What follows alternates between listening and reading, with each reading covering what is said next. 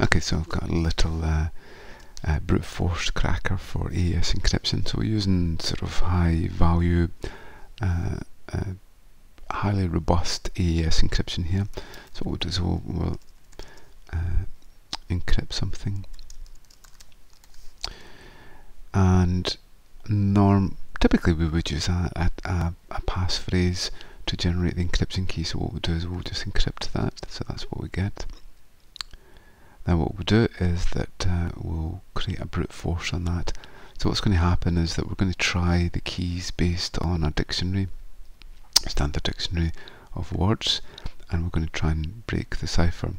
What really happens in the program is that an exception is created whenever we use the wrong key most of the time, uh, but sometimes uh, we don't get an exception and you'll see that possible ones appearing here. So we'll go ahead and do that. Okay, so it just uh, is going through all the possibilities here and it should find some contenders hopefully. There's one, there's another one, and so on. Okay, so it's trying all these words to generate an encryption key. So we'll just stop it there. And we can see here the ones that hasn't produced uh, encryption keys for, those are possible contenders for the encryption key.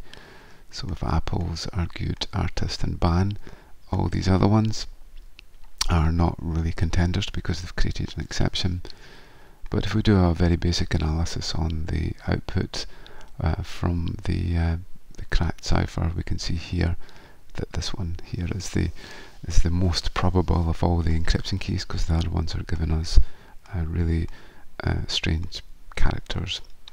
Okay, so we normally do some sort of frequency analysis, some sort of um, content analysis on the output to see which one it was.